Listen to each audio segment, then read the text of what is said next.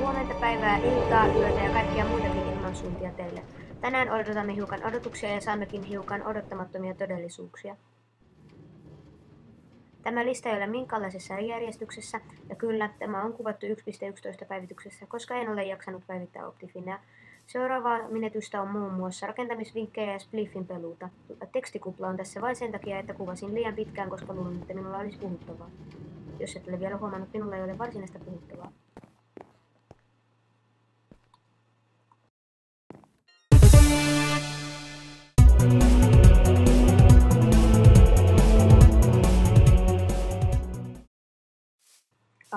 Vihdoinkin. Luola, onkohan täällä mitään hyvää? Punakiveä? Pah, turhaa touhua. It's probably nothing. Kultaa? No! Timanttia? Eihän mun etsimää löydy mistään. Ehkä täältä löytyy jotain.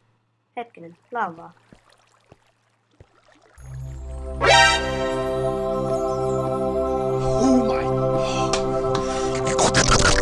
Oh my.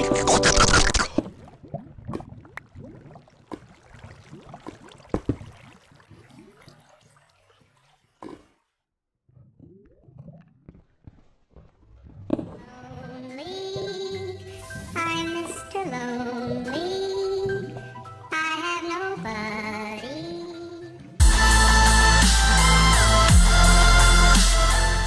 Ah, vihdoinkin. Luola, onkohan täällä mitään hyvää? Pelkkää hiiltä, onpas hyvä alku.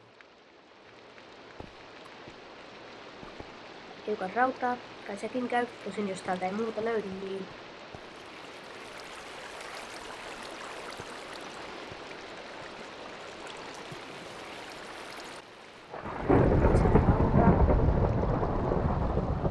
Ehkä täällä on jotain hyvää, voi toivoa.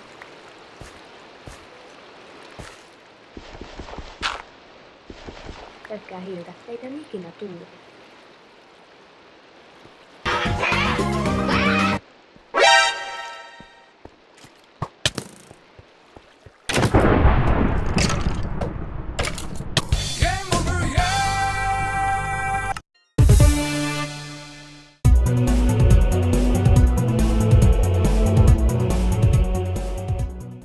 Ette taloani vai?